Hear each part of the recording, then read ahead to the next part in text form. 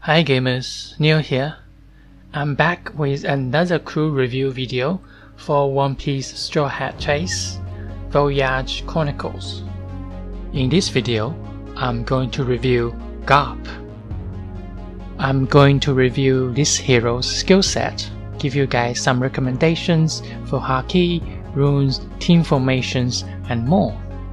At the end of this video, I will give this hero a rating based on my play experience. Also, if you are interested in tier lists for this game, links in the description. First, some background story. Garp is a Navy Vice Admiral and a legendary figure from the times of the Pirate King Gol D. Roger. In this game, Garp is a single burst DPS. His first skill, Sleepiness, puts him in an immune or debuff state, increased crit rate and damage reduction. He cannot attack using his skill. Let's do his passive first. Garp's passive grants him Fury which increase attack bonus for every attack he receives.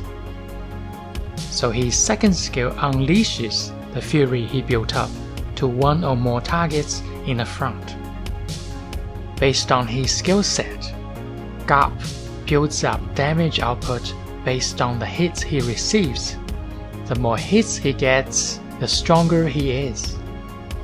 Also, his first skill grants him CC immunity and damage reduction. He is a attacker with raw strength. So the Haki recommendation for him is penetration, which enhances burst damage for his second skill.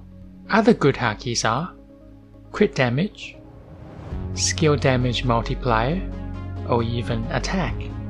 As for rune attribute, I recommend combo attribute and other attack enhance attribute should be just fine.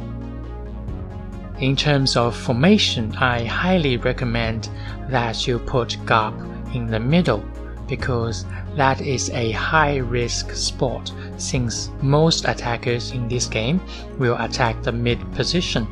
Remember, more hits Garp receives, the more powerful Garp can get. Due to his uniqueness, as a beginner, you can even use Garp as a tank. Garp's damage is very decent, his immunity to debuff can buy his team some survival time in some situations, such as in Arena when enemy Wano Zoro silencing everyone. So in conclusion, I rate Garp 8 out of 10.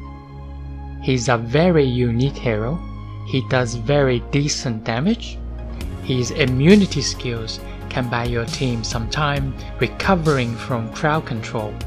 He may not be in your go-to lineup, but he definitely adds variety to the gameplay. Rank him up for fun. Okay guys, that concludes today's video. As always, please leave your questions in the comments below. Take care and uh, thanks for watching.